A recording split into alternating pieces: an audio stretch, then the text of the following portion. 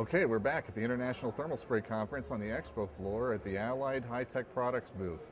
I'm talking with George Abraham, materials engineer for the company. George, tell us about your product line and, uh, and this piece of equipment, please.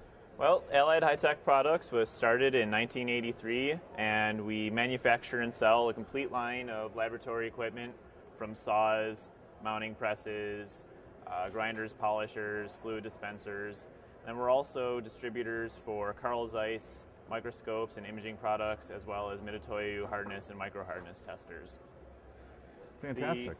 The, the TechCut 5 is a fully electronic saw, has electronic table that feeds the sample into the saw, goes up to 5,000 RPM with electronic feedback.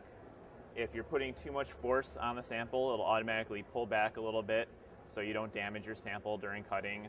And there's a variety of different tables and fi- fixtures available for the saw for different size parts, different uh, configurations uh, available for, for just about every type of uh, every type of need and sample.